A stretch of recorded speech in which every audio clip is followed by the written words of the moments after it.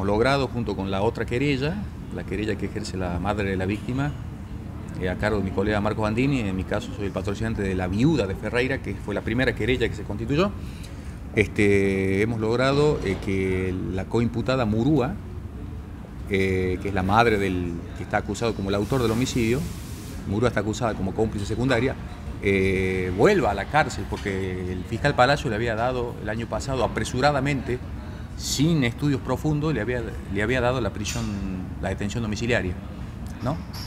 Entonces, bueno, después nosotros impugnamos eso este, y bueno, eh, la Junta Médica para ver eh, si estaba en condiciones de volver a la cárcel se estaba demorando y cuando empezó la feria, eh, con, la, con la otra querella, nosotros pedimos la habilitación de feria para que se resuelva ese tema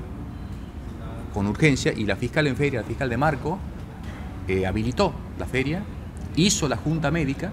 y obviamente dio lo que nosotros habíamos adelantado, que Muro estaba en perfectas condiciones de volver al penal en, perfecta condición de salud puede volver al penal. Entonces nosotros inmediatamente con ese resultado, con la otra querella, pedimos que se revoque inmediatamente la, la, prisión domiciliaria y se la retorne al penal de mujeres. Y la fiscal en feria, ya la segunda de la segunda semana, digamos, los segundos 10 días, la fiscal en feria Jessica Miranda hizo lugar a nuestro pedido y eh, dejó sin efecto la prisión domiciliaria de Murúa y la retornó al penal en donde está actualmente. Y ahora ya, retomada la actividad judicial, vuelve el fiscal Palacio a la causa, que el fiscal titular, y tomó una serie de medidas, como es, eh, dispuso que se tomen pruebas de ADN eh, en, el, imputado Castro y en la coimputada eh, Murúa. eso se va a realizar en el día de mañana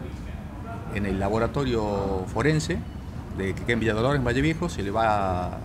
a, realizar ahí esa, esa, prueba de ADN. Este, y bueno, y, no, y vamos con la otra querella, nosotros vamos a acelerar la junta psiquiátrica en Castro para que determine si el retraso ese, la, la inmadurez mental esa que tiene, retraso madurativo que tiene, que le dio la experiencia psiquiátrica y psicológica, lo hace imputable o inimputable, es decir, si eso le permite comprender o no la criminalidad del homicidio. Nosotros creemos que sí, eh, pero bueno, eso es algo fundamental que hay que determinar a los efectos, porque de eso va a determinar que se pueda ser juzgado o no, Entonces eso también eh, eh, el fiscal Palacio debe hacer con absoluta urgencia en los próximos días y vamos a insistir con eso con, la otra querida. Porque a nivel probatorio ya está, la investigación está prácticamente finalizada.